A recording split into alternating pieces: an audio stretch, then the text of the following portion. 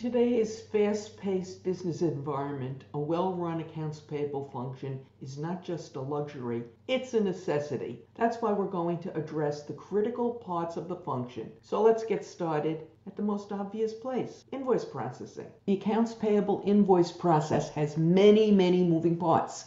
It's so easy to get one or more of them wrong, and even one tiny uh, what seems like inconsequential misstep can create havoc resulting in either a duplicate payment that is difficult, if not impossible, to retrieve, a late payment, a disgruntled supplier, or even worse, an unhappy manager. We'll go through the steps and the best practices you should use every step of the way to make sure that this doesn't happen to you. Make sure you stick around until the end when we discuss one practice that will definitely make suppliers angry, and angry suppliers tend to call management and complain about you. So let's get started. Well, we said that it doesn't matter how the invoices arrive, you can do a lot to ensure that this step goes smoothly. Let's take a look at some best practices you can use in that regard. And let's start off with what address you use. What address are you going to give uh, your vendors to send your invoices to? Well, in today's world, you want to have three addresses. You want to have a postal address that is very precise. You don't want the vendors sending their invoices to your headquarters address, for example. So your address for where they send their the, the invoices to should be something like ABC Company, uh, 124 uh, Main Street, uh, second floor, or attention accounts payable, or maybe even it would be a post office box. Maybe you're going to receive the invoices there. You should also have an email address where your vendors can send their invoices, and that should also be very specific. It should not be an individual's um, email account. So it should be invoices at ABC Company, uh, accounts payable at ABC Company, how, whatever you whatever works for you. Um, you also might want to have a fax, although a fax number, although faxes are on um, the decline, if you will, um, as far as being um, a business tool. But you might want to have a specific fax number that your your uh, vendors can use um, if they want to fax it to you. And ideally, in an ideal world, you'll have that fax facility hooked up to an e-fax facility so that paper fax gets converted into an electronic document. Now, this may sound easy, you send it out for approval and then move right on. But sadly, like most other tasks in accounts payable, it doesn't always work the way you'd like. Sometimes approvers are busy. Work with me, please. I'm trying to be nice here. And they don't approve invoices in a timely manner, or they don't get to other approvals. What can you do about it? Glad you asked. We've got some tips that will help. Let's take a quick look at the three way match. What is the three way match? This is the process every accounts payable department should use to ensure that invoices that they are paying are accurate, legitimate, and have not been already paid. As you know, duplicate payment of invoices can be a problem, and it's an even bigger problem now because we have so many suppliers who are sending duplicate copies of invoices. But I digress. Back to the three way match. Okay, the three way match involves three documents purchase order, the receiving document, and the invoice. Let's discuss each of them in a little bit of detail so you can understand what they are and what their role is in this much vaulted, much talked about three way match. Okay, so the three documents. The first document that starts the whole transaction, if you will, is the purchase order. You'll sometimes see it abbreviated as PO or PO number because they all have numbers. And basically, this is the document that your purchasing department will prepare and send over to the supplier placing the order, okay, the purchase order. Okay, and it will delineate, you know, what they want to order, should have price on it. Many times they'll have terms and conditions, and it sets forth, if you will, the terms for the transaction or at least the terms for the transaction as far as your organization is concerned if the supplier doesn't agree with anything on it, like let's say the price, they should go back and forth with the purchasing department and the purchase order should be changed to reflect it. So if your guy says the price is a dollar and the vendor says no, the price is two dollars, the price on the purchase order should be changed to whatever they agree the price is. Okay, that's purchase order. Receiving document, sometimes also called packing slip.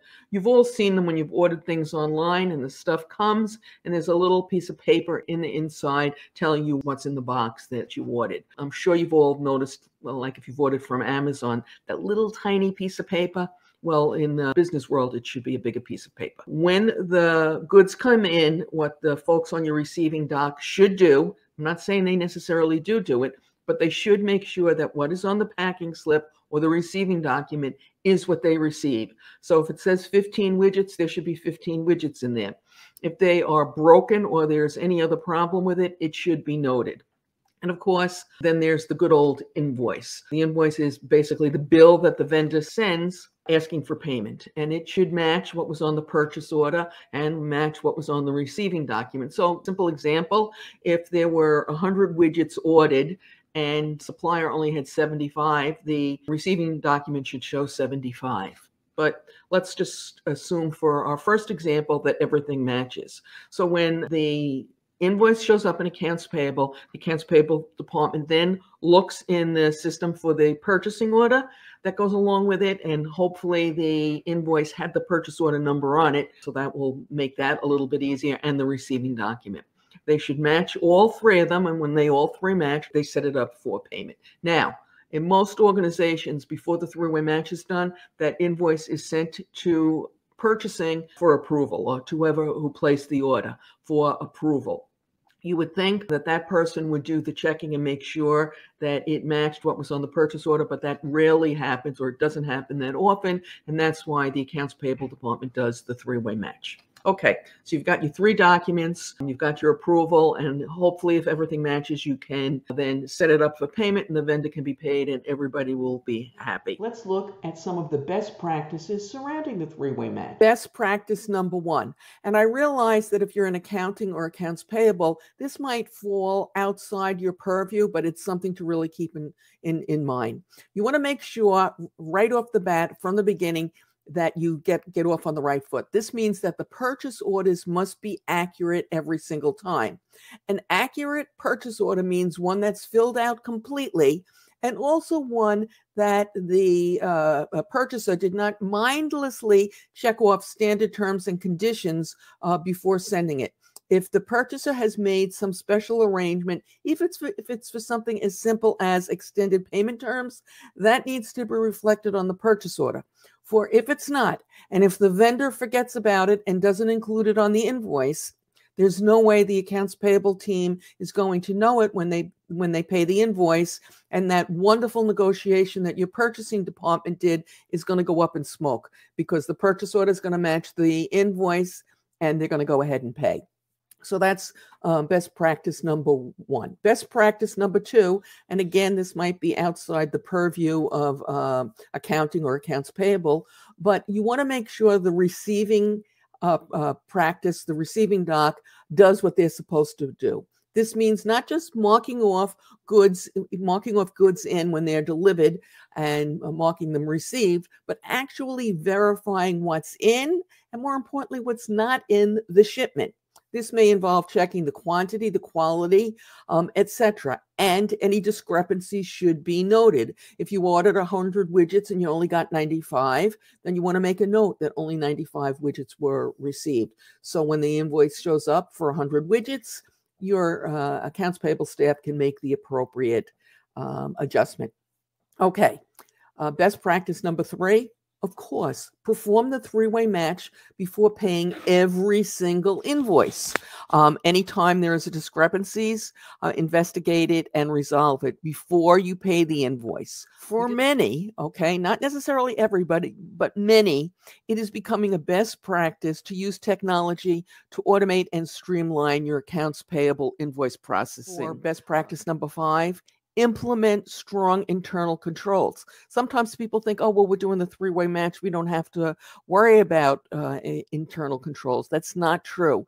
There must be, you must integrate internal controls, strong internal controls along every aspect of your three way match and do it with every single time. Before we continue, let's take a quick look at the various payment options currently being used by many U.S. organizations. Yes. I believe many payments being made today with checks could be made with either cards or ACH. Do you agree? Is your organization trying to reduce the number of paper checks? Let us know in the comments below. Cards are the perfect payment tool to handle small dollar invoices, which may be clogging up your accounts payable.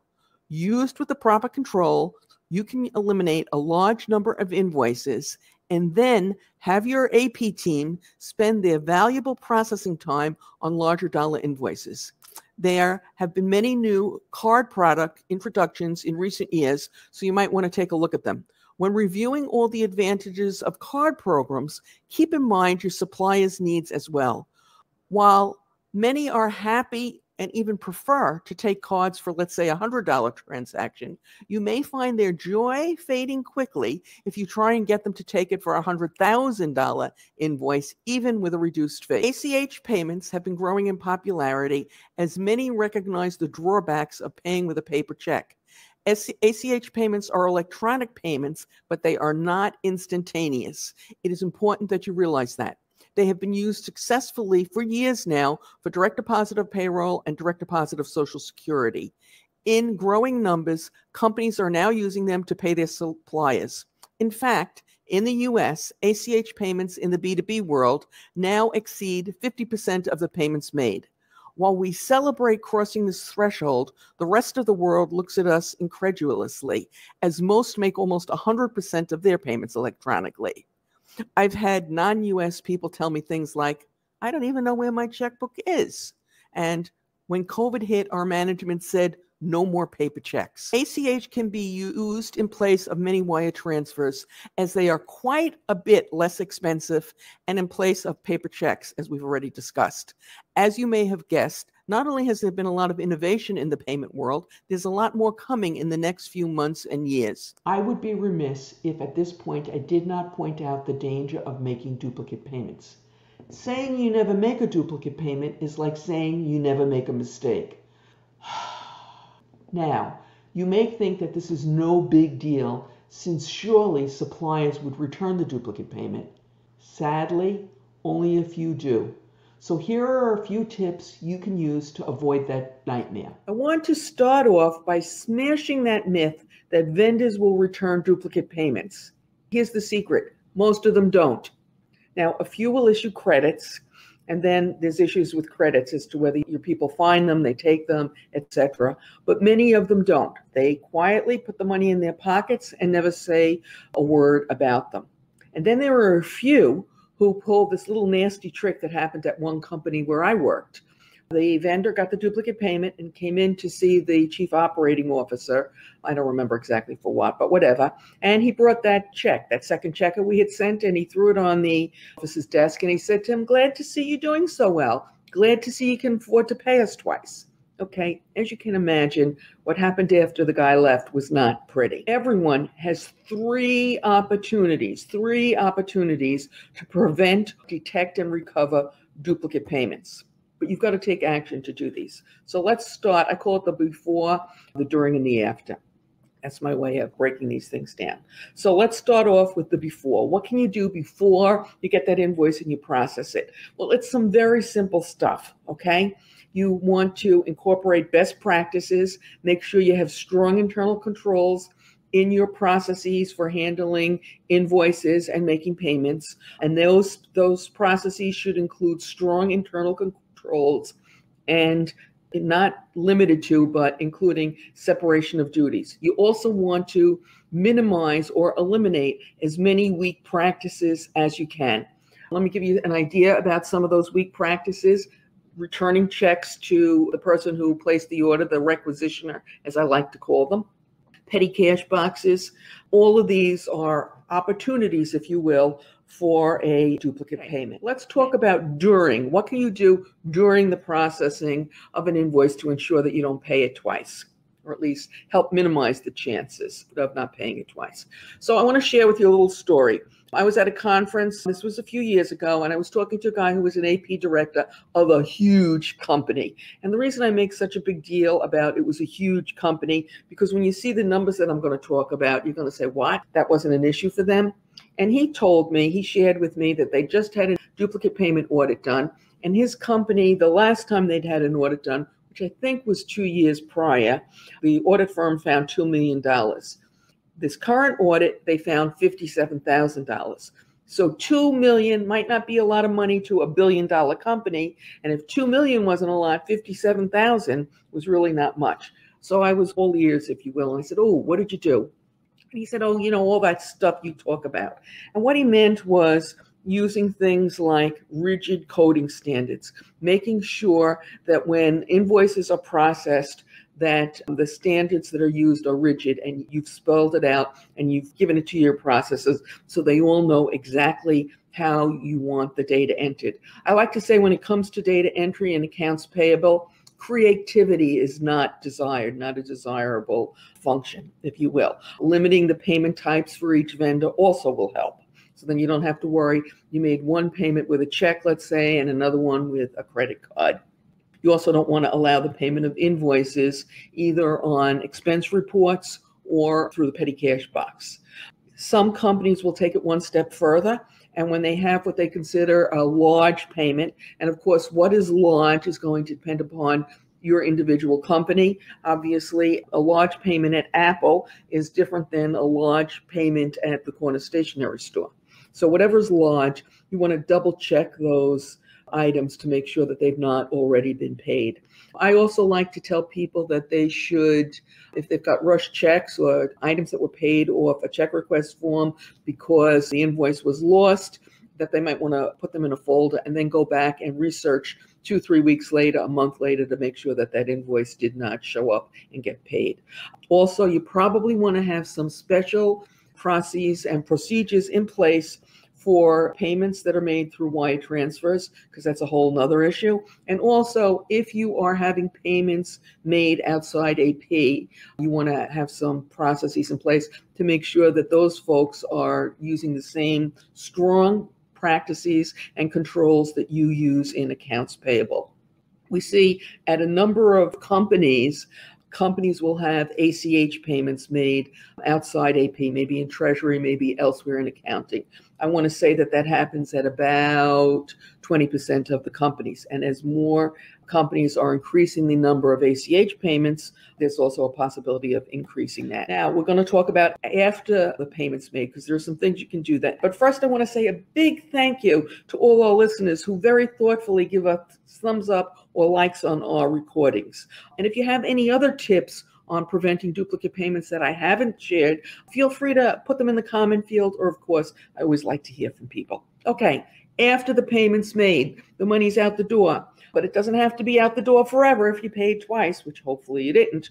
But at a minimum, you want to audit your payments when I say at a minimum, I hope everybody who's listening today is doing statement audits. And that's where you call your vendors and you ask them to send a statement showing all outstanding activity, all open activity, not just open invoices. They're happy to tell you about the open invoices, but you want to find out are there any open credits that we don't know about? You want to get that money back, obviously. So if you haven't been doing that, that's kind of a no brainer. And if you do find a credit on a statement that was due to a duplicate payment, you want to investigate because you know what they say about where there's smoke, there's fire. Or, and as I like to say, where there's a duplicate payment once, it might happen more than once. And so you want to investigate what happened, figure out was there a weakness in your controls and your processes, and then fix it. Okay, you want to close that loophole, whatever it may be. Also, you want to be very careful about those vendors who change the invoice number, and many of them do. Some of them will just add like an A to the end of the invoice number for the first copy that they sent out and a B for the second copy, but others are change the invoice number completely. So you want to be very careful about those vendors. And when you figure out who they are, you want to make a special notice of them so that you can always check to make sure that you don't have them. Okay, so be very careful about them. And again, when you find a duplicate, you want to analyze what was wrong, what went wrong in our system so that we made this payment. Now, some of you, hopefully not you, but a few people out there might be sitting there thinking, saying, well, we don't make duplicate payments. Our system won't allow it, or whatever reason that you have.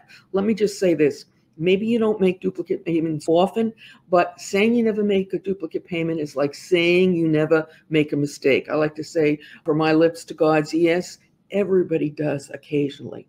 And by the way, if it's only occasionally and your staff makes one, you know, take it into consideration that this is something that happens everywhere. Now, if you still think, hey, she's making a big deal about nothing, let me just point out one more issue to you A lot of times, fraud in general starts off with an honest mistake. So you pay someone twice, they realize they got that second payment, they don't return it, God forbid, and then they say, aha, maybe if we send invoices twice, they'll pay twice, and they start doing it. So, an honest mistake can sometimes lead to fraud, so which is why you want to stay on top of this issue. These discounts are really important to the organizations that are offering them, so it is critical you understand what they are and how they work. Early payment discounts are exactly what they claim to be a discount for paying early. Let's take a look at the nitty gritty of how early payment discounts work. For starters, not every supplier offers them. Typically, they are negotiated during the initial stages of the business relationship. They should always be concluded in the terms and conditions. Some suppliers offer them as a matter of course, and others don't offer them at all. This is one of those situations of if you don't ask, you don't get. So ask. All they can say is no. For the purposes of this talk, we're going to focus on the most common discount offered. The discount does not have to be these numbers, but just I want to make the example and I want to make sure that you understand it. So it's 210 net 30. It is typically written the number two, a slash sign, the number 10 net, the number 30. This means that a full payment is due on the 30th day after the invoice date. However, if the invoice is paid within 10 days of the invoice date, the customer can take a 2% discount, hence the 2 slash 10. So if you had an invoice of $100, the customer has a choice of either paying $100 on the 30th day or $98 if he pays it in day 1 through 10, up to the 10th day. The $98 payment is arrived at by taking 2% of 100, which is $2, and subtracting it from the total amount of $100. Any payment after the 10th day up until the 30th day should be the full $100. There are no partial discounts in the early payment discount world. You'll sometimes see the term early payment discount or early pay discount abbreviated as EPD. Now, you may be looking at this simple example and wondering why would anybody make a big deal about this? She's talking about $2. So the answer is twofold. First of all, the smaller dollar amounts add up. And secondly, for most organizations, early payment discounts represent the best financial alternative they have. The 210 net 30 converts to a 36% rate of return. For most organizations, unless you're out there collecting money with a baseball bat, which I'm thinking you're not if you're listening to this, this is probably the highest rate of return your company can get with absolutely no risk. I'll skip the math for now, but perhaps we'll do another broadcast showing it. So if you're interested, let us know in the comments below. So, as many companies would like to get more early payment discounts, your suppliers are not such a big fan of it, okay? So it's up to you to ferret out these opportunities. Here are three quick ways to do that. So, number one, pretty simple. Make sure you earn all the early payment discounts you're entitled to. This means identifying those vendors who offer early payment discounts and then fast tracking the processing for those so that you're able to get them paid within the 10th date. For many organizations, it is difficult to get an invoice processed, approved, and scheduled for payment in such a short time. But that's what you need to do. You need to also stay on top of your approvers because that's often where the holdup is and make sure they understand that approving quickly is important in this case. Okay, that's tip number one. Tip number two Many times, offering an early payment discount will be a standard within a particular industry. So, if you have a vendor that is offering you an early payment discount, look at all the other vendors in the same industry that you are doing business with, and then approach them and ask them if they offer early payment discounts. Some will, some won't. Again, they don't like it, so they're not going to volunteer the information. But if you approach them, they may relent. Tip number three you want to train your processes to look at invoices closely. And if it's on one invoice that you get where you normally don't get it, know that this vendor is properly offering it to others. So ask. So if you're doing business with vendor, you know, XYZ, and they don't offer you early payment discounts and you typically don't get one, and one of your processes knows that one invoice comes through and it's showing an early payment discount, this means that they might be offering it to some of their other customers. And so you want to ask, see if you can get to be one of them. Again, if you don't ask, you won't get uh, discrepancies when they're doing the three-way match. They need to be resolved and they need to be resolved quickly. Let's take a brief but deep dive into how you can do that. What do you do with the data related to the accounts payable process three-way matches that go wrong? i.e., when you match the invoice against the purchase order and the receiving document and they don't match. There's a wealth of business intelligence in that data if you choose to collect and analyze it. And I'm sure you're going to realize that I'm going to recommend that you do that. It can and should be used to drive process improvements across your entire procure to pay chain, not just the accounts payable function. And let's talk about tracking discrepant invoices. You absolutely should be tracking them. You can do it in your ERP system if you have the functionality to do that, but many ERP systems don't have the functionality. And so someone, usually the accounts payable manager, does it in a separate spreadsheet. You can just do it in a simple Excel spreadsheet. And you want to do this for a number of reasons. Obviously, you want to get the invoices discrepancies resolved, but you also want to do it in a timely manner. Because if you don't do it in a timely manner and the due date passes, the vendor will send a second invoice. So you'll have one copy of the invoice, and then you'll get another copy of the invoice. And if it still is not resolved by, let's say, 60 days, if payment was due at 30 days, you'll get still another copy of the invoice. And maybe you'll get more than them. So a lot of extra work, a lot of extra invoices, and occasionally some of those invoices get paid twice, those second and third copies, and we absolutely don't want to do it. So here's how you can do it. Let's assume that the accounts payable manager, the director of accounts payable, maybe an assistant controller is going to do it. And what you're going to do is you're going to take a spreadsheet and you're going to keep track of the discrepant invoices and who's supposed to resolve them.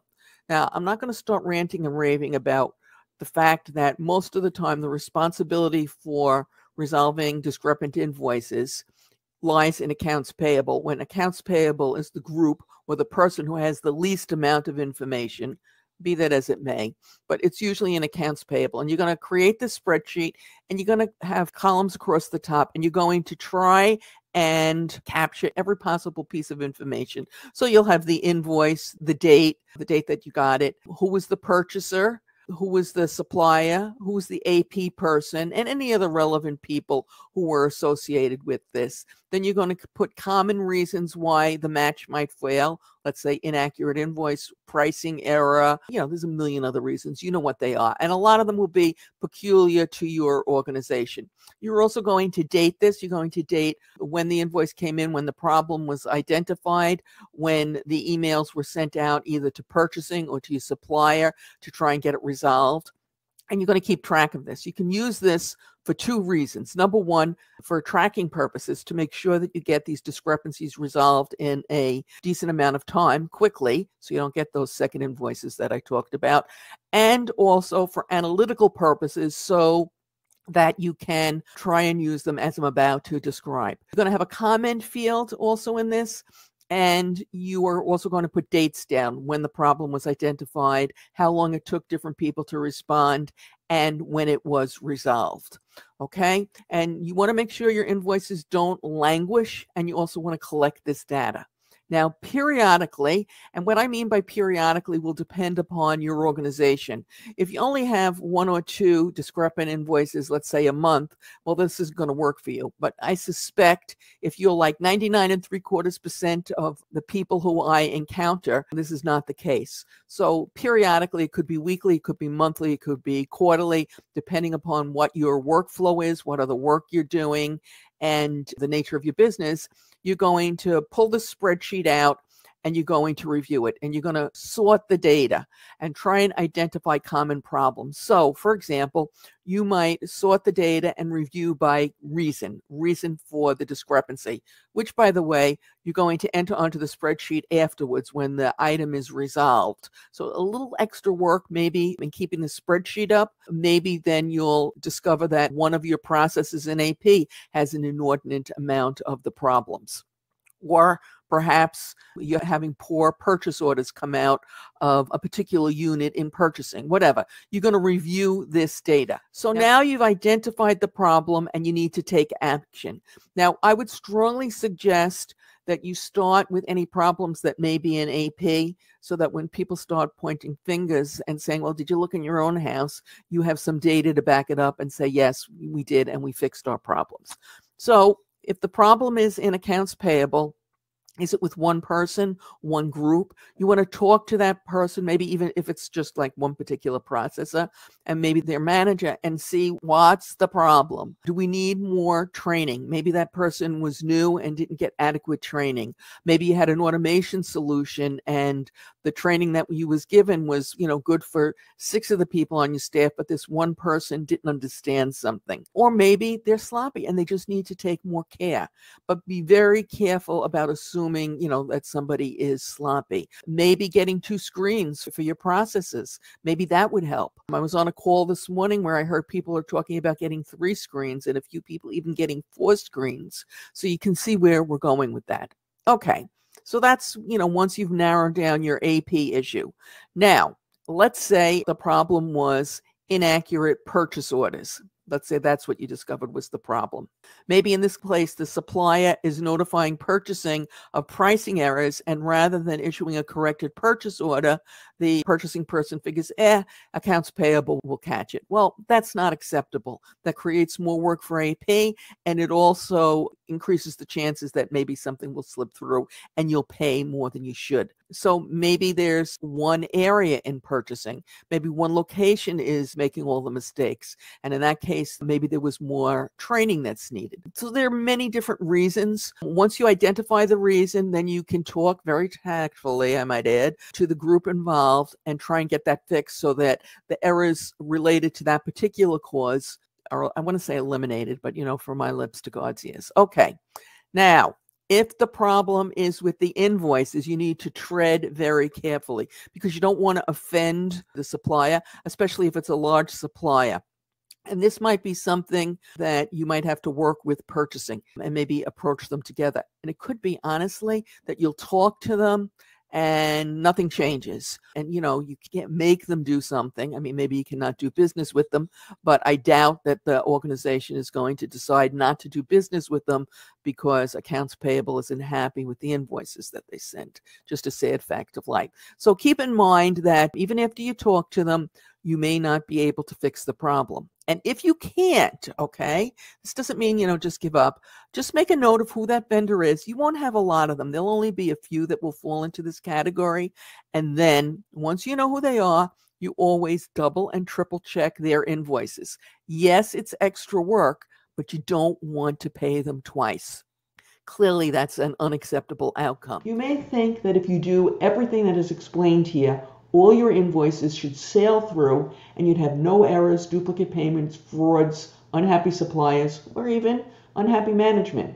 Sadly, it's not that simple, and invoice errors still have a way of sneaking in. Next, I want to talk about internal controls as they are critical to avoiding costly mistakes. Effective control in accounts payable boils down to one simple thing the details. I've identified a baker's dozen of places where controls often go awry in the accounts payable process and will explain how this happens when it's often not that obvious at first glance. While it's great to be a big picture person, there is and there's definitely a place for that ignoring the details, and your profits go out the door. Let me explain. Control weaknesses, especially internal controls, are the tiny cracks in your foundation. And as you know, tiny cracks become bigger cracks, and if not taken care of, can bring a whole entire building down. In the business world, this means losses, which sadly will grow and have the potential to eventually torpedo the financial viability of your organization when criminals recognize them and take advantage. Let's get started looking at the promised baker's dozen of control weaknesses, including those that many don't realize they have. Control weakness number one ineffective training. When you hire someone, especially when you hire someone to work in accounts payable, you need to train them on how you want to do things. If you don't, they'll do things the way either they think they should be done or the way they did them at their old company. Either of those may be fine, but they may not be fine. And inevitably, they will introduce weaknesses into your process, which will result in duplicate payments, duplicate invoices uh, being paid twice, and other control problems. Control weakness number two, not using a coding standard. Now, many think people, no, not many, some people think that as we are moving towards automation, the use of a coding standard or requiring that your folks use a coding standard when they're entering data in the, in the accounts payable is not important anymore. It is because even those companies that are highly automated in their accounts payable function still have a certain amount of data entry and that you don't want your processes introducing errors into your system because they didn't use the coding standard when they are uh, entering the data on those few items, whether they are resolving discrepancies or they're handling those few invoices that were not sent in through your automation process. So you still need that coding standard. Control weakness number three, not standardizing your process for handling invoices when you're getting them ready for payment. By standardizing your processes, that means that if an invoice comes in a second time and you handled it the first time and I get it the second time, if I'm doing the exact same steps, I'll quickly recognize that this is a duplicate and I won't set it up for payment a second time. So standardize your processes. Not only that, when you standardize your processes, you can make sure that all the controls that need to be in place are in place and you don't stand the risk of somebody missing an important step. Hey guys, I just realized I didn't introduce myself. I'm Mary Schaeffer, founder of this channel and the AP Now podcast, which now has over 600 episodes. And I hope when you're done with this one, when you're finished with this one, you'll listen to a few others or watch a few others. I've also written over 20 business books, most focusing on business and accounts payable issues. But enough about me. Let's go on to and talk about control weakness number four, which is not using that coding standard in the master vendor file when you're setting up new vendors. Um, it's just as important, and maybe even more important, that you use this coding standard that should match your invoice coding standard so that um, when vendors are set up in the master vendor file, your processes will be able to easily find them and they'll be able to match them to the invoice and you don't end up with duplicate vendors in the master vendor file because that is a prime way that uh, fraud is facilitated, number one, and number two, uh, that invoices get, get processed twice. Okay, so use the coding standard when setting up vendors, both new and when you're making changes in the vendor file. Control weakness number five, allowing multiple people to make changes in the master vendor file. Now, we haven't talked about appropriate separation of duties, and don't worry, you're not going to get through this without me doing that. But when it comes to master vendor file, there should be a person who's responsible for that, or two people if you're a large enough organization, and no one else should be going in the master vendor file. Too often we'll see a processor going in and making like an address change or a bank account change. You don't want to do that because then you you know too many hands in the pie, not appropriate separation of duties. So make sure that all changes changes to the master vendor file are made by the person who's responsible for it and no one else has the ability to do it. Even not, not only that they're not supposed to do it on a regular basis, but they don't have the ability to do it. Because if they do and they are a devious mind, they could go in and make changes that would result in a fraudulent payment. Okay, along the same lines, control weakness number six, not regularly cleansing the master vendor file so that you get rid of inactive vendors, vendors that you are not doing business with anymore. You don't want to get rid of that information. You just want to deactivate their, their entries so that nobody can use that, that file, that inactive file, if you will, to uh, push through a, a fraudulent payment. So regularly cleanse the master vendor file. Otherwise, it just also it gets too big and unwieldy, especially if you had a lot of one-time vendors in there, which some people put in and some don't. But I'm getting off topic, and let me get back topic to control weakness number seven. Not doing a periodic review of how your processes are doing their work to ensure that they haven't introduced shortcuts which also introduce weaknesses into the system. Not to say that all shortcuts will introduce weaknesses. Some of them will be true shortcuts and a, a benefit for everyone. But oftentimes what the shortcut does is it makes the person who, who creates it, makes their job a little easier, makes their job go a little faster. But at the same time, it does that, it can, either creates a control weakness someplace else within the process or creates a problem for somebody, somebody else. So you want to, if they have a shortcut, if they have a suggestion for a shortcut, that's great. You want to sit down, you want to talk to them about it, and if it is truly a good idea, then everybody should use it, not just them. And but oftentimes, as I say, when you review it and you can see the big picture, remember I told you there's a place with big picture uh, folks. Uh, when you can see the big picture, you'll realize that this this is not a good change, and then you can explain to them why it's not a good idea, where the problems would co- would come. Okay, control weakness number eight: understanding vendor credits. Now, if you're the manager, you probably understand vendor credits very well, and you will recognize them uh, very well also. But if you're new to accounts payable or new to accounting, or even if you're not new, if nobody's ever explained them to you,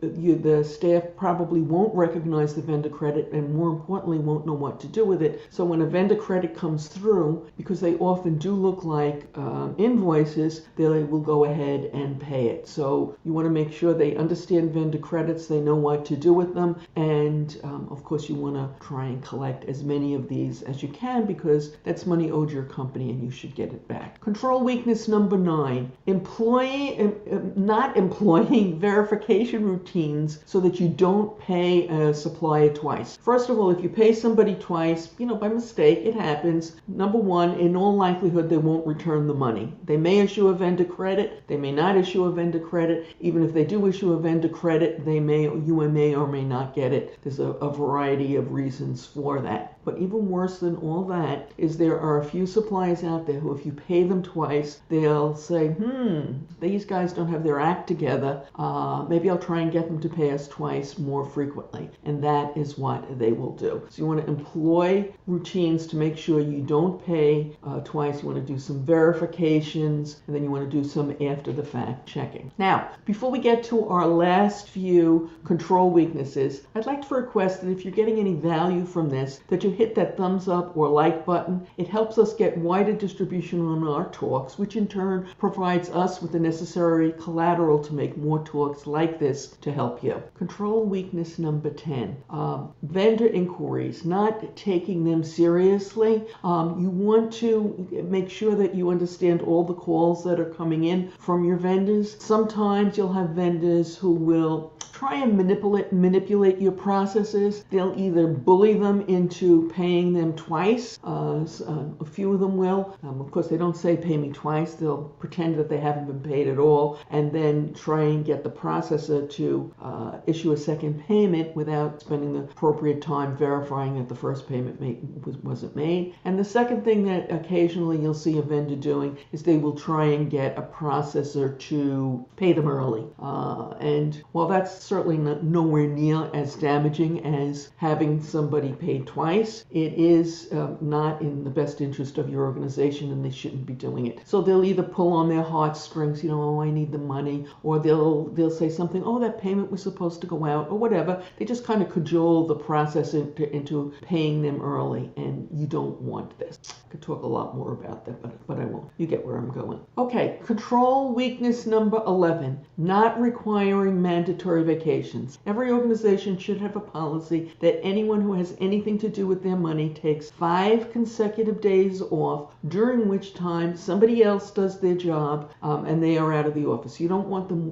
being out of the office, being working from home, and then doing their job from home because that negates what you're trying to achieve. What you want to make sure is that there's no fraud going on, actually, but you really don't want to say that. Um, and so somebody else does the job, and the feeling is that within the five days, if there was an ongoing fraud, that um, it would become uncovered. Now, many companies don't have this this policy, uh, mainly because they are, you know, people take take all their vacation time, but you don't want someone, even though I understand why they might like to do it, if they get 10 week, if they get two weeks vacation, taking, you know, every Friday in the summer off, and they just have some long weekends because they didn't plan to go anyplace. Well, that's nice. It doesn't cover you on your five consecutive days off, so you, you want to do that. Control weakness number 12. I promised it was coming. Not employing appropriate separation of duties. And this is getting harder and harder for more companies as our accounts payable departments use more and more technology and they get smaller and smaller. It becomes harder and harder to uh, employ appropriate separation of duties. But if you don't, you will end up, or you could end up with a situation where a person has um, access to two legs of a transaction, transaction, and if they have a, a devious heart, then they are more apt to uh, make it easier for them to, to commit fraud if that's how they are so inclined. And while most of your people absolutely will not do that, you don't know who will. And in fact, that brings me to control weakness number 13. I call it the myth of the long term trusted employee. Most employees who've been with you for a long time are very honorable, so I don't want to give you the uh, impression that there's not, but there are a few who use their uh, position of trust, if you will, to have the uh, appropriate separation of duties. They're not in place, uh, and they have access to more things than they could, and a few of them will take advantage and rob rob their uh, employer. And in, in fact, in most cases where there is an internal fraud, especially when that internal fraud is due, due to um, inappropriate separation of duties or weakened internal controls, it will turn out that it's a long-term trusted employee who uh, has taken taken advantage because they know where the weaknesses are, and you've kind of let your guard down, and you're not checking them as much as maybe you're checking that new employee or that guy who you think he looks a little shady, even though he doesn't. He's a perfectly um, nice guy. So that's why I call it the myth of the long-term trusted employee. So your internal controls across the board, no exceptions, no matter how long someone's been with you and how much you trust them or you think they are honorable. So I could spend several hours discussing fraud protection protocols, but today We'll just focus on eight important tips. Look through the other talks on this channel for more information on fraud protection. Getting hit with a fraud when you're in charge can be devastating, even when you had absolutely nothing to do with it. What's more, management often feels that someone has to take the hit for what happened, and they terminate or demote the manager who was in charge, figuring that they should have had tighter controls in place to prevent this kind of thing from happening. That's why we put together this quick rundown of fraud protection practices everyone should be using. Issue number one I call this the issue no one likes to, to confront. I've been covering accounts payable issues for almost 25 years now, and whenever I mention this one, people get uncomfortable. Sometimes they give me dirty looks, but it is a fact of business life, so we need to address it, and we're going to address it now. When it comes to fraud, fraud can be both internal and external. That's right, it's not always some bad guy out there. It's sometimes it is somebody that you know and actually like.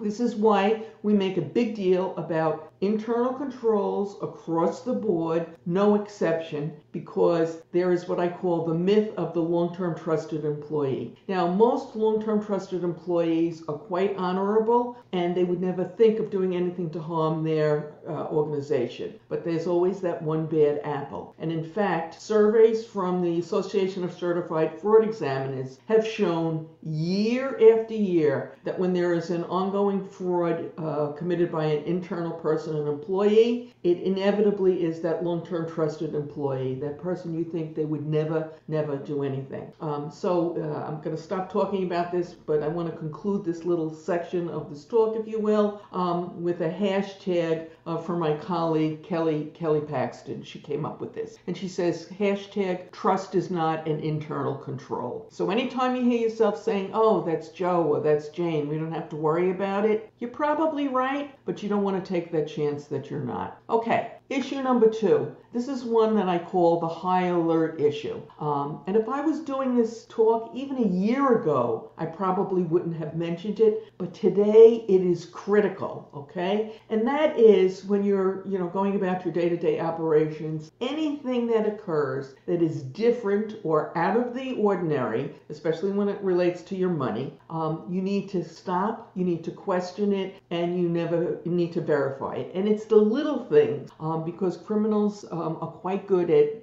figuring their way around. Let me give you a very simple example. If normally you're the accounts payable manager and you're doing the wire transfers, and usually and it's always the controller who brings you the wire transfer, and this time you get an email from the CFO with the wire uh, with the wire transfer directly, not going um, through the controller, um, and it says something like, uh, "This is a rush. We need to hurry up and get it out." Maybe it is from this the CFO, and maybe it is a rush and you need to do get it out, but take a few extra minutes to stop and confirm because I can't tell you how many times this little out of the ordinary that doesn't really seem that much out of the ordinary has been a fraud. Okay, issue number three. I call this one yet another variation of this devastating fraud. And this ha- actually happened in the town that I live in, um, so it's near and dear to my heart, or at least according to the newspaper, it is. And the manager who was in charge was fired. So we all know that we verify all those emails that come in that have a change of bank account request, but you need to verify those changes regardless of how that that uh, request comes to you. So in this case, the uh, hacking actually did not occur in the uh, customers in the town's uh, accounts payable system. It have actually happened in the supplies and the accounts receivable um, department or the billing department. And what the criminal did is they changed the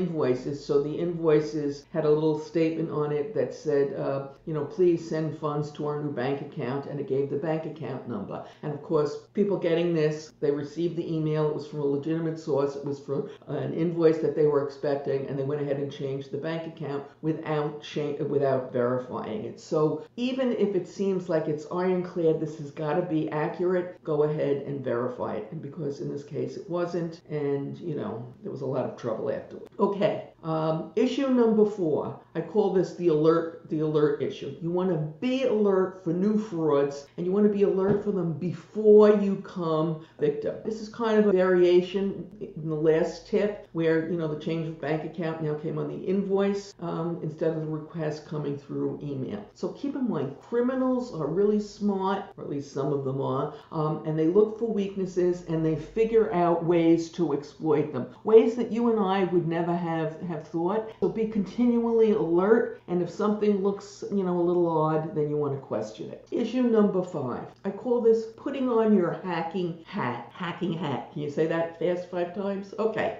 annually you want to become an ethical hacker or you want one of your employees to do that. Um, you want to keep in mind that when it comes to taking advantage, um, your employees know where your weaknesses are. And when I say your employees, I'm including ex employees. And at the end of the day, you never really know who is disgruntled, who is having financial issues, or what weaknesses they may, they may exist. So once a year, put on your hacking hat and see if you can break the system, so to speak. See if you can uh, figure out a way that you could defraud the organization. And then, of course, if you figure it out, you want to fix that. A great way to do this, by the way, is if you hire somebody new, if you have a new employee, um, have them look through it, your system, and see where they, they see the weaknesses are, because they are going to look at things with a little different set of eyes than you would look at it, and they um, also, you know, come from a little bit of different background. So it's really that's kind of like getting a, a, a consultant for free. So don't overlook those new employees. Let them try and break your system. Okay, the next issue I call the non-discriminatory issue,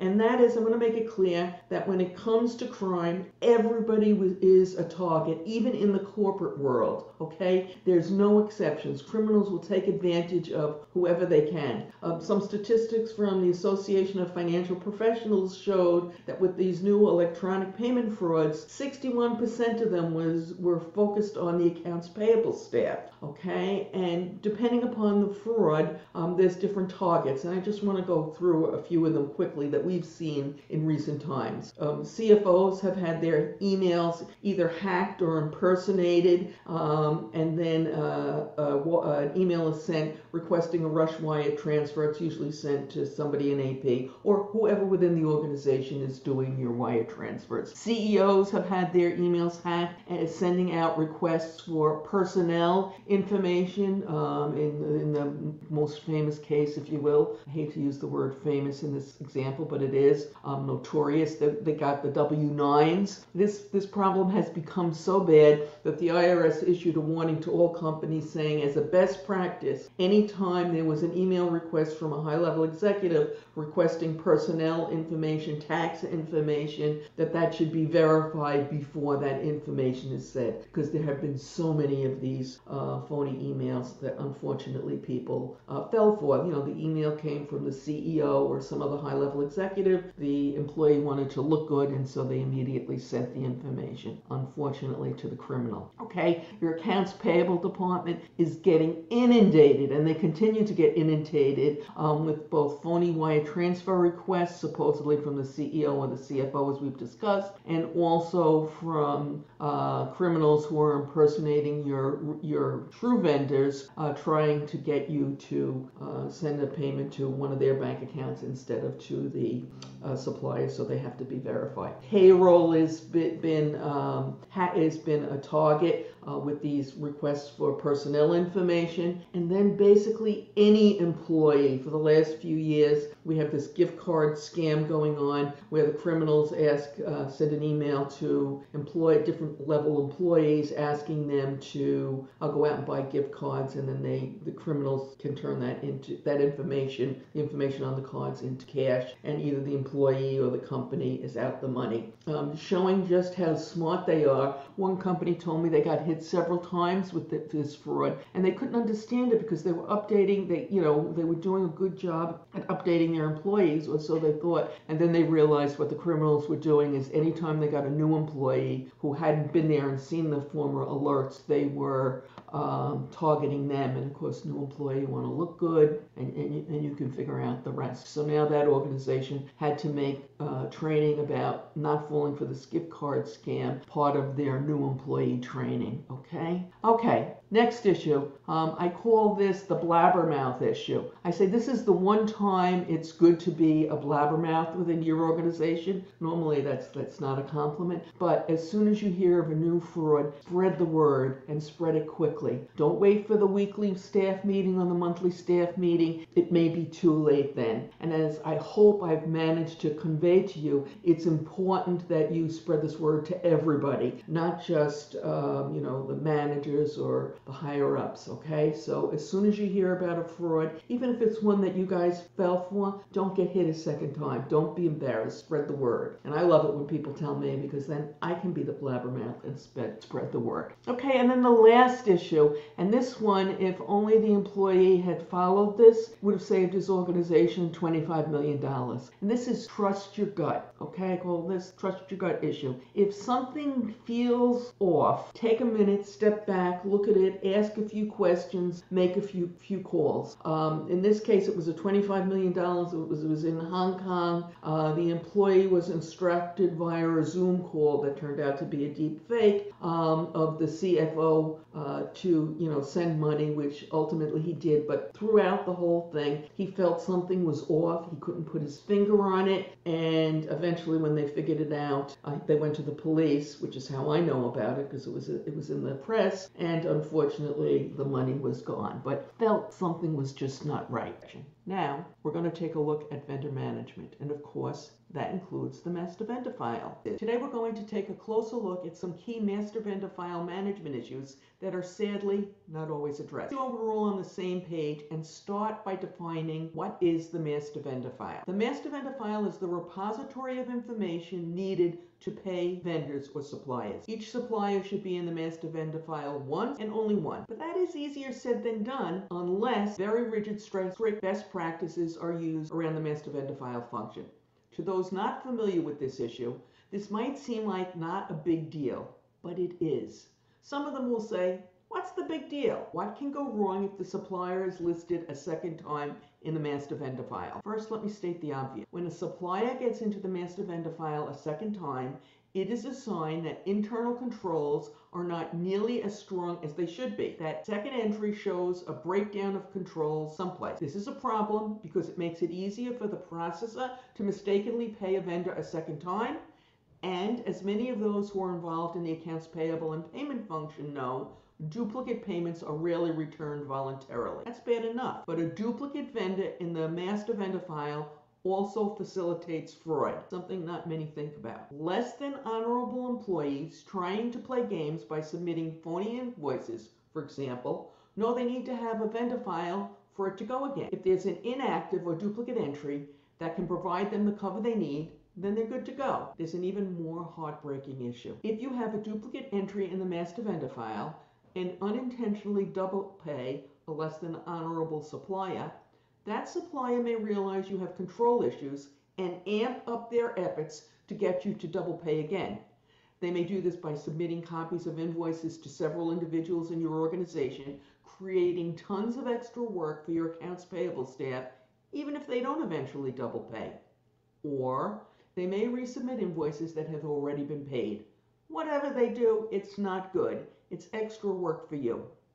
They either trick you into paying twice or create a whole lot of extra work for your staff. And as I said, neither of those are a good thing. Not everyone refers to the master vendor file as the master vendor file. What are some of the other names used for the master vendor file? Some refer to it as the vendor master file and others simply call it the vendor file. Now, in some companies, different departments will have their own vendor files to address whatever their own particular needs are. In fact, Sometimes even purchasing will have its own vendor file separate from the one used in accounts payable, but that is not too common. This brings up the next issues related to master vendor file. Who has responsibility for the master vendor file? Now, let me be clear. There is no absolute right or wrong answer to this question. The first consideration, and most important, relates to appropriate separation of duties. The responsibility should lie with the group that has enough personnel to handle the function appropriately while still maintaining appropriate separation of duties. As technology takes over more and more of the transactional work in the accounts payable function, the accounts payable departments, like many others, are getting smaller and smaller. So while accounts payable might seem like the logical place to house responsibility for the accounts payable function, Smaller staffs sometimes make that impossible for the appropriate separation of duties issues. Once you've addressed the appropriate separation of duty issue, the next issue is who has the bandwidth to handle the day-to-day tasks related to the master vendor file on a very current basis. You can't leave new vendors set up until the end of the month and set them all up at one time then. While this may seem like an ideal situation for the person who has to set the vendors up, it's not ideal for the operation of the business. Since an invoice can't be processed until the vendor is set up, you need to put this responsibility with someone who will set up new vendors and make changes to existing vendors every day or every second day. Now, the temptation is to let invoice processors set up new vendors and make changes to existing vendors but this creates a control issue as it negates appropriate separation of duties. So as tempting as it may be, don't do it. Another tempting issue is to leave all suppliers in the master vendor file forever, in case you want to do business with them again in the future, and then you won't have to set them up again. The problems with this are several. After a number of years, the, master vendor file will be large, unwieldy, and rife with opportunities for error and worse. So let's address the lifespan of a supplier in the master vendor file. Does a, lot, does a supplier stay in the master vendor file forever? Technically, the answer to that is yes, but they should be deactivated if you haven't done business with them in the last 12 or 14 months. Leaving an inactive vendor in the master vendor file, just like a duplicate vendor, can facilitate fraud if you have an employee looking to play games, and by this I mean looking to defraud the company, usually, although not always, through embezzlement. This is called cleansing the master vendor file. The vendor history should not be deleted. This way, if the supplier comes back two years from now and claims you didn't pay, a particular invoice, and yes, that happens, you have the records to research and prove that you did. Basically, a supplier should stay active in the master vendor file as long as you continue to do business with that supplier on a regular basis. Once you stop doing business, the supplier can be deactivated, but you will always have the history of that relationship. Really important. If you start doing business with that supplier again, you should re-verify their information as if they were a brand new supplier. This brings up the issue of setting up vendors in the master vendor file. What's involved with setting up a new vendor? It first involves entering data provided by the new supplier. Often this information is taken directly from the invoice. And while there is nothing inherently wrong with this approach, assuming you are verifying that it's a little legitimate vendor, more on that a little bit later, there are better ways. Ideally, you'll have a vendor form or application and will also send the new supplier a W-9 from which you'll collect taxpayer identification number and an ACH payment form to collect bank account data so you can pay them electronically using the ACH. This can either be sent by the person responsible for the master vendor file or by the purchasing professional, ideally before they send the first purchase order. However, in reality, most accounts payable departments don't find out about a new vendor until that first invoice arrives.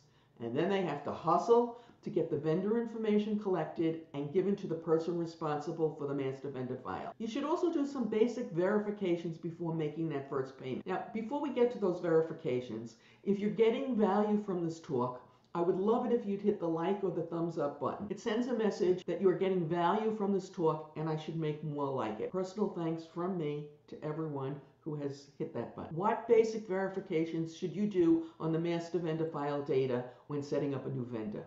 Once the data is collected, the information on the W-9 needs to be run through IRS TIN matching program to verify if the name and the TIN match what the IRS has on its records. This will greatly reduce the number of B notices you receive, which, if you've ever had to deal with them, you know is a huge pain in the you know what and wastes a lot of valuable time. If there is a mismatch, get the information corrected from the supplier and run it through IRS TIN matching again. Do this until it's correct. You want to do this before you make the first payment. The reason for this is simple.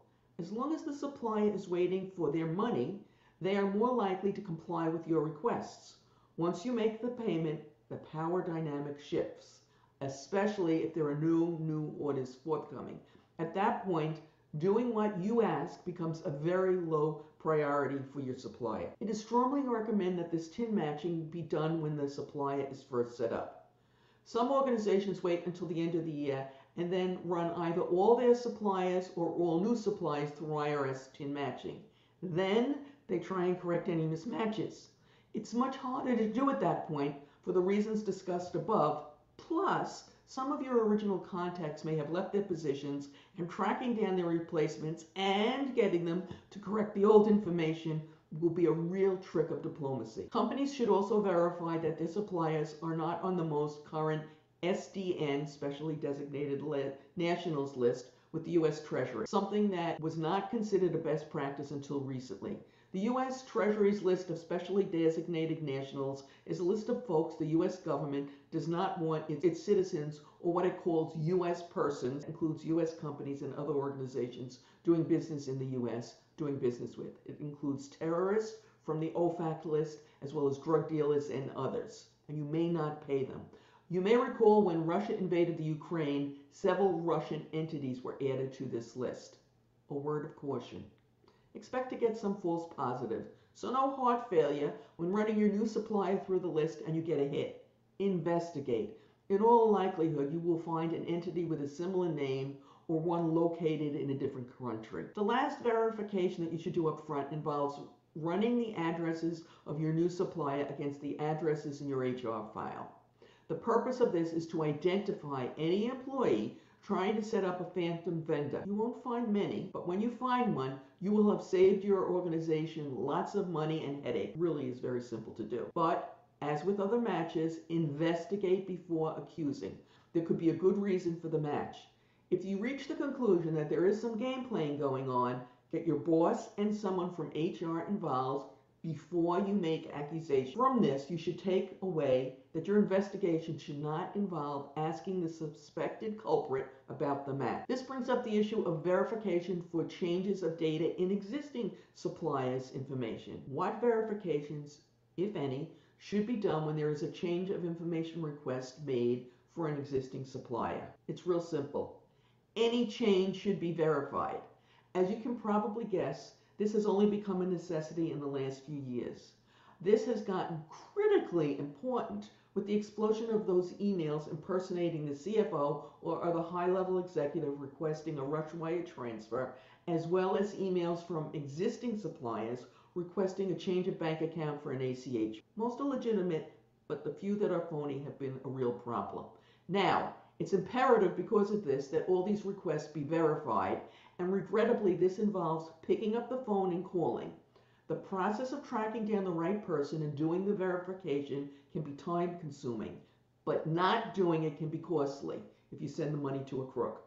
So smart companies now verify every single one of these requests, even though, as I said, most are completely legitimate. We're going to touch briefly now on payments. Guest. I believe many payments being made today with checks could be made with either cards or ACH. Do you agree? Is your organization trying to reduce the number of paper checks? Let us know in the comments below. Cards are the perfect payment tool to handle small dollar invoices, which may be clogging up your accounts payable. Used with the proper control, you can eliminate a large number of invoices and then have your AP team spend their valuable processing time on larger dollar invoices. There have been many new card product introductions in recent years, so you might want to take a look at them. When reviewing all the advantages of card programs, keep in mind your supplier's needs as well.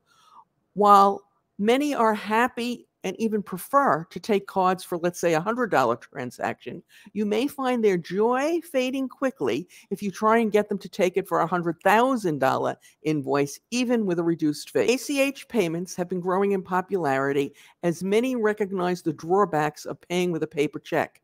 ACH payments are electronic payments, but they are not instantaneous. It is important that you realize that. They have been used successfully for years now for direct deposit of payroll and direct deposit of Social Security. In growing numbers, companies are now using them to pay their suppliers. In fact, in the US, ACH payments in the B2B world now exceed 50% of the payments made. While we celebrate crossing this threshold, the rest of the world looks at us incredulously, as most make almost 100% of their payments electronically. I've had non US people tell me things like, I don't even know where my checkbook is. And when COVID hit, our management said, no more paper checks. ACH can be used in place of many wire transfers as they are quite a bit less expensive and in place of paper checks, as we've already discussed. As you may have guessed, not only has there been a lot of innovation in the payment world, there's a lot more coming in the next few months and years and it's already started. Did you know that there are 11 different types of cards used in the business world and that there are four different types of ACH payments? As always, we appreciate your thumbs up as they help our channel grow. As YouTube takes your thumbs up as a sign they should share this content with more folks just like you. Before we move on, we need to address 1099s. 1099s, often dreaded by the accounts payable departments, represent a critical yet a challenging aspect of tax compliance. This burden is particularly pronounced in January, a month that's already filled with tasks for organizations whose fiscal year end is the same as the calendar year end. The urgency intensifies as these forms must be mailed to recipients by January 31st or delivered to recipients by then to facilitate timely tax filing. Today we're going to provide a very basic understanding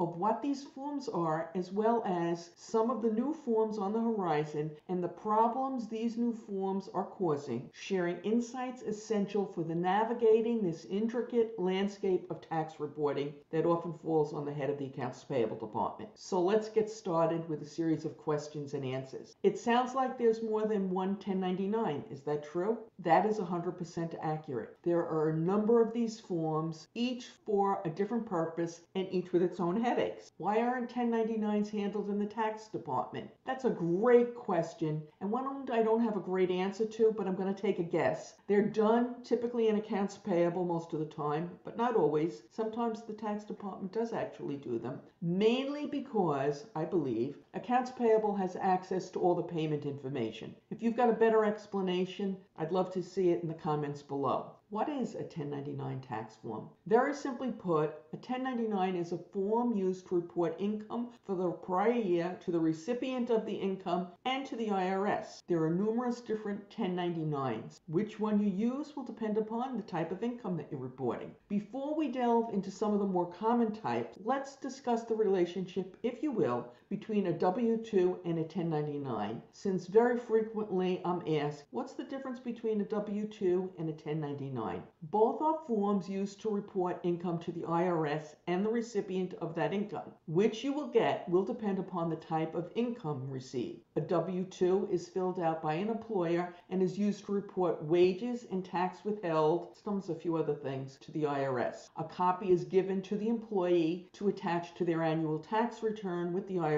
when they file on or before April 15th.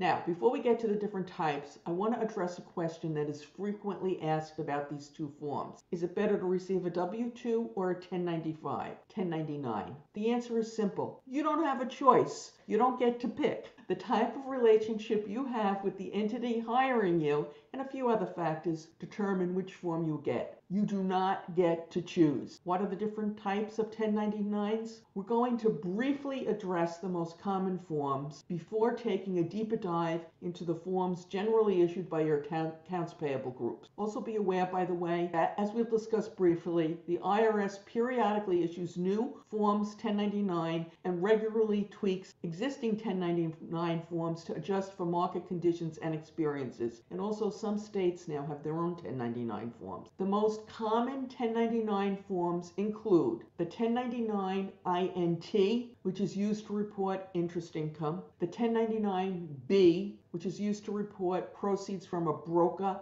and barter exchange transactions. The 1099 DIV, DIV, is used to report dividends and distributions. The 1099C is used to report the cancellation of debt. A 1099-R is used to report distributions from pensions and annuities, retirement or profit sharing plans, IRAs, insurance contracts, etc. We're going to discuss now the two forms accounts payable departments are most familiar with and then the two new forms. So now to the two forms we're most familiar with. What is the 1099 MISC, M-I-S-C? For the longest time, this was the only form used in accounts payable. The IRS says the 1099 MISC is used to report drum roll please, I'm sure you can guess, miscellaneous income. This is where the payment made to your independent contractors and consultants used to be reported. Notice the emphasis on used to be. Because there was so much fraud related to criminals filing phony tax returns requesting refunds they were not entitled to,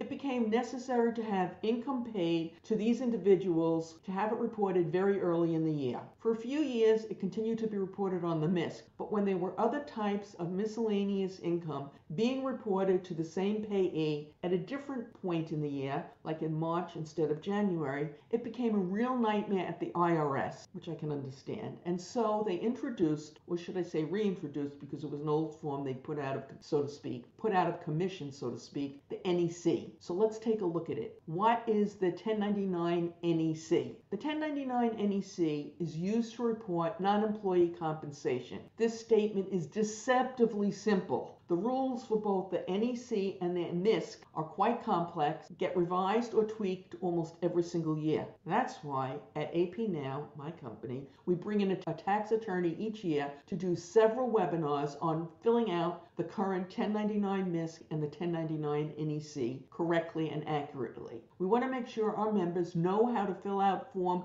1099s correctly. The rules are so complex. He has a thriving business just advising organiz- organizations on the right way to fill out the forms. If you want to know how to do annual 1099 reporting for corporations, for vendors, or how to fill out a 1099 for an independent contractor, please visit the webinar page on the AP Now website and look for our 1099 offerings on that page. We have a few co- uh, courses every fall. Before we get to the new 1099 forms, if you're getting value from this talk, I'd love it if you'd hit the like or the thumbs up button. It sends a message that you're getting value from this talk and I should make more like it. A personal thanks from me to everyone who has hit that like button. What are the new 1099 forms? There are two forms that you may have seen in the press the 1099K and the 1099DA. Let's take a look at each of them separately. What is the 1099DA? This is the form that the IRS expects to begin using in 2026 for fiscal 2025 for reporting by brokers for sales or exchanges of digital assets, including cryptocurrency transactions. The goal is to simplify this reporting. As you might expect, there's been a lot of complaining about this one. What I am calling the other new form is already here, but its use is being expanded and expanded greatly, and that has led to a ton of whining. What is the 1099K? Okay, this one you're not going to be able to figure out from its name. I'm guessing they picked the K because it hadn't been used for anything else. If you know differently, please, please feel free to let us know in the comments below. And you can take a guess also if you want. Anyway, the 1099K is for reporting payment card, for reporting payment card and third-party network transactions. Most companies are familiar with it if they accept credit cards. At AP Now, my company, we get 1099Ks each year, one from MasterCard and Visa, and another one from American Express, to reflect the sales we made that were paid for with credit cards. Organizations like eBay also report as they are, they are third-party network. The protesting about the 1099Ks began when the IRS announced two changes. The first was that the threshold reporting, which varies depending upon the type of 1099, was being lowered from $20,000 all the way down to $600. The $600 level is more common on other types of 1099s. Suddenly, a lot of people were going to have income from small side businesses reported to the IRS, but that was just the beginning of the problem. They also announced that companies like Zelle, Venmo, and Cash App would also have to start reporting. The problem here is that many of these apps are used for personal transactions, like sending money, sending money to a child at college, sending money to a friend for your half of a dinner bill when the friend charged the entire dinner bill to their credit card, or even giving a wedding gift. The problem for these third party apps is they were given very little notice and separating the real person to person transactions from the business transactions presented with them presented them with a real and not easily solvable headache. Eventually, the IRS relented a little. Beginning with tax year 2024 reporting cycle, the gross payment threshold was lowered to $5,000. Sometimes I'm asked if I need to give my contractor a 1099. Usually the answer to this question is yes, despite what the contractor might be telling you. But how do you know for sure? You need to get a W 9 from the supplier and verify it using IRS TIN matching. It's really not that complicated, but you need to do it correctly. We can't talk about accounts payable today without discussing automation. Here are some tips if you're considering purchasing an automation solution. If you don't have an organized plan, shopping for an accounts payable automation solution or invoice solution or any automation solution for that matter can get quite confusing. So keep track of your requirements and who has what in either a Google Sheet or an Excel spreadsheet. This could mean the difference between a successful digital transformation and a flop. We've broken down the features you should be looking at into two groups, the must-haves and the nice-to-haves. Depending on your requirements, you may move some of the features between the two categories. Make sure you stick around until the end when we discuss the one issue few ever think about, until they're sitting there with a nightmare on their hand. Now, as we go through this list, at certain points, you'll be likely to think to yourself, the salesman from the automation solution provider is never going to answer that question honestly. And you will be right. That's why I strongly recommend, if you can possibly find someone using the solution, you talk to them on your own. Sadly, this won't be the references provided by the automation solution provider, so as they are likely to only share those of folks who've had a positive experience with them. You need to find them on your own, possibly by posting on LinkedIn or at an industry meeting.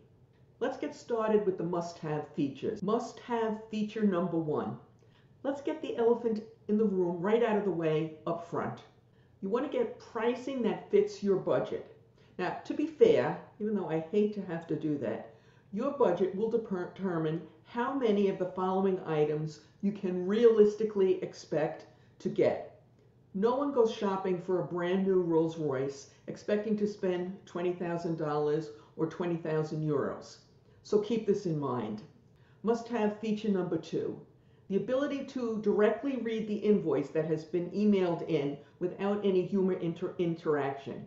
In my humble opinion, this will become a standard feature, at least in the United States, in the future for without it, suppliers will continue to drag their feet at the thought of having to change their ways, and utilization of your new automation solution will never be what you hoped for. The reason I stipulated the United States is that many other parts of the world, a good portion of Europe, Asia, South America, etc., electronic invoicing mandates are becoming the norm, and PDFs of invoices do not meet that definition of an invoice permittable, permittable under those protocols. But in the United States, we are nowhere near to even discussing such actions. And by the way, neither are they in the UK, but some UK representatives have been attending some of these meetings, so they're closer than we are. Must have, must have feature number three. Any solution that doesn't require suppliers to change much or ideally at all will end up with a higher utilization than a solution that requires a change. That is because unless you are the 800 pound gorilla in the relationship with your vendors, your vendors are not going to change for you. This is why I've made such a big deal about the ability to read invoices from emails.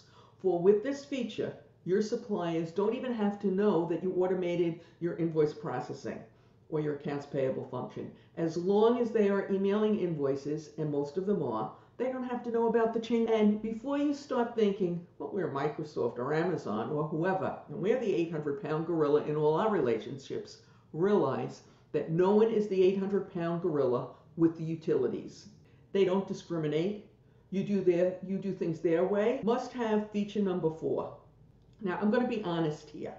I thought originally supplier self onboarding was a dream come true for the accounts payable space and it was for the accounts payable space, but that's it. With suppliers entering their own information into the master vendor file, password protected of course, accounts payable teams would no longer have to worry about those awful, phony, change my bank account emails.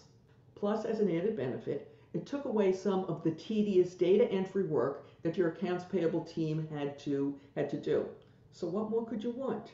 Well, what I had not done when considering this is walked a mile in your supplier's shoes.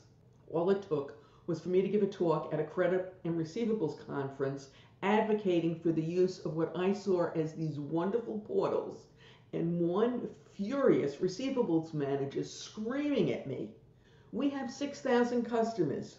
Do you really expect me to have someone go in and update every single one of those vendor portals every time we make a little change? all of a sudden I could see it from her point of view.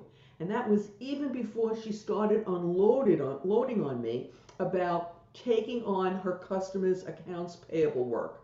So on my must-have feature list, I now include do not require, does not require suppliers to self-onboard. The supplier community hates this requirement, often refusing to do it, resulting in you having lower utilization of your automation solution and you didn't put all that work and effort in to have your suppliers not use it. Must have feature number five, scalability.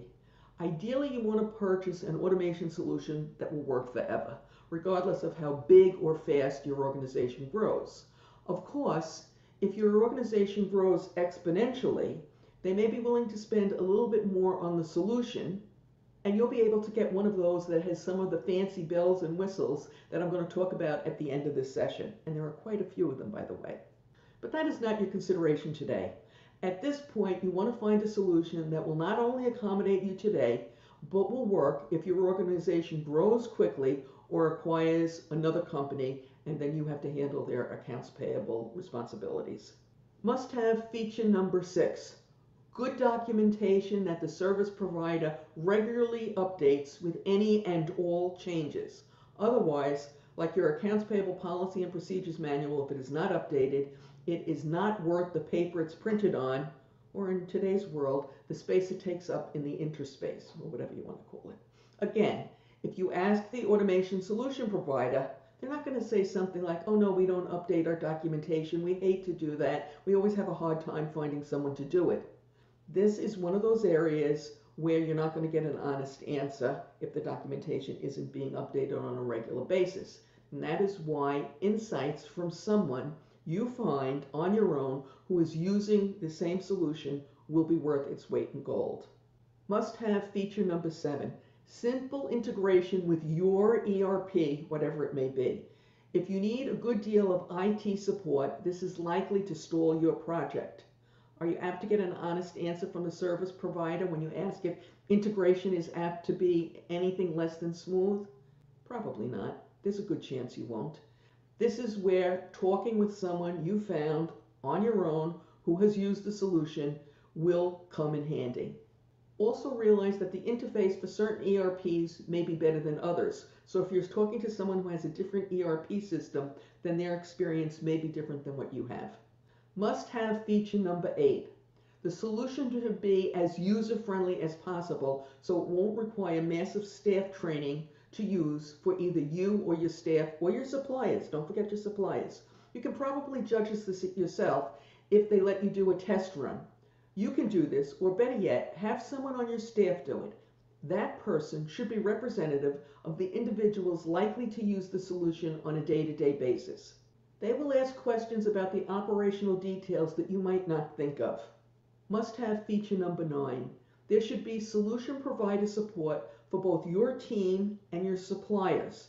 You don't want your suppliers calling you every single time they have a problem, as you are not as you are likely not to have the answer and you're just going to have to call the solution provider yourself to get them the answer they need.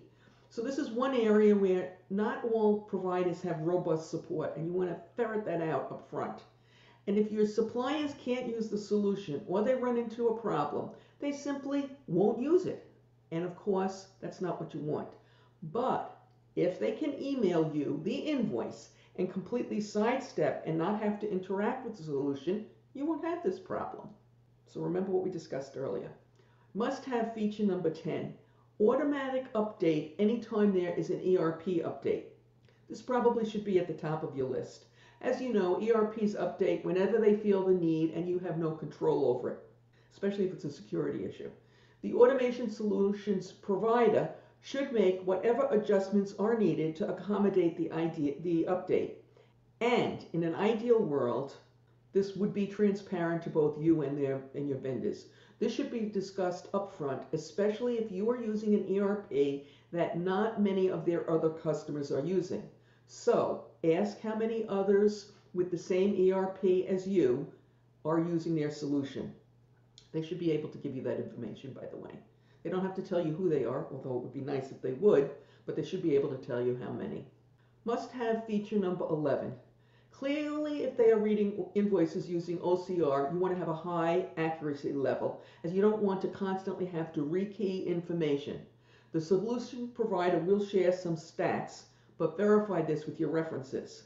Before we get to the nice to have features, and some of them are pretty nifty, if you are finding this informative, I'd greatly appreciate it if you could hit the thumbs up or like button. It sends a message to YouTube and to us that the content has value and it should be shared with more folks like it, and that we should create more like it. A big thank you from me to everyone who has hit the like button. And now on to the nice to have features. Nice to have feature number one, alerts for potential duplicate payments. Ideally, no second copies of invoices make it through to the point of being scheduled for payment. But if you've been operating for any amount of time in the accounts payable space, you know that we don't live in that dream world, and occasionally an invoice still manages to slip through. Being alerted for potential duplicates is a really nice but not necessary feature to have. Nice to have feature number two, robust reporting. Needs in this area will vary to, from organization to organization and will depend on what you can easily get from your ERP. Some of them are robust in that area, some of them aren't. But if you prepare a list of reports that you'd like to have ahead of time, you can see what the automation solutions offer and what the different ones also offer. Also, ask about how easy or difficult it is to create special reports as needed by various teams. And if you can play around with the system, you can even try and do that. Nice to have feature number three. The ability to read handwritten documents is a nice feature if, and this is a big if, you still get handwritten invoices. My guess is only a few of you do get them, but if you do, ask about it. Again, it is a nice to have and probably only something to consider if you're getting more than the occasional handwritten invoices. I know some organizations just simply refuse to accept them. They have to be typed or computer generated. Nice to have feature number four. Uh, having others in your industry already using this solution. If many are using it, the provider may have developed some reports and routines that you need and are unique to your industry. So when researching, when searching, ask providers if others are in your industry are using it. But don't rely on them to figure out what your industry is, okay? Because some of them will get it right, some of them will get it wrong, they'll guess, who knows what they'll do. Um, so you want to tell them what it is. Now, you've probably figured out from what I'm saying that your ideal reference would be from someone who is facing the same issues as you are and are in the same industry. But that's, you know, an ideal. Nice to have feature number four. Uh, feature number five, some level of fraud detection. Now, you should never rely 100% on the solution provider to protect you against fraud, but some features are nice. This, sadly, is something where we all need to be alert as criminals are masters at finding ways around even the best of technology. This is why I like to say when it comes to fraud protection, it takes a village. Nice to have feature number six dispute resolution models. They're nice to have as they make resolving discrepancies between the invoice, the purchase order, and the receiving document easier to resolve. But these models are not perfect and they only work if both parties use them. That's why this is on the nice to have list and not the must have list. Nice to have feature number seven, portals where your suppliers can go and check their payment status so they are not continually annoying your staff with calls like, did you get my invoice? When am I going to be paid? Did you schedule my invoice for payment, etc. If you have this portal, you can then very nicely point them to the portal so they can check instead of constantly interrupting your accounts payable staff with their questions. They can check every day. They can check till their heart's content. You don't care. Of course, if they don't see their invoices scheduled for payment, you're still going to get those calls. Nice to have feature number eight. When the solution is updated, it won't require massive changes on your part. This is where your references really come in handy, especially if you can find someone on your own and not, are not relying on the references provided by the provider. One of the most heartbreaking issues for companies to face is having spent a lot of time, effort, and money on acquiring and setting up a new automation solution and then having low utilization, either because suppliers or employees balk at using this, using it. A little advanced planning will help you avoid this nightmare. Now, clearly, there's a lot more to say about technology and automation in accounts payable, and it's a really important topic. That's why we've created a comprehensive talk on the issues, which you can watch right now by clicking the link that has appeared on your YouTube screen and is in the description. Good luck.